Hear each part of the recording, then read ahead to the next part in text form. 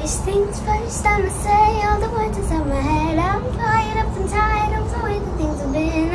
Ooh, the way that things have been. Ooh. That was cool.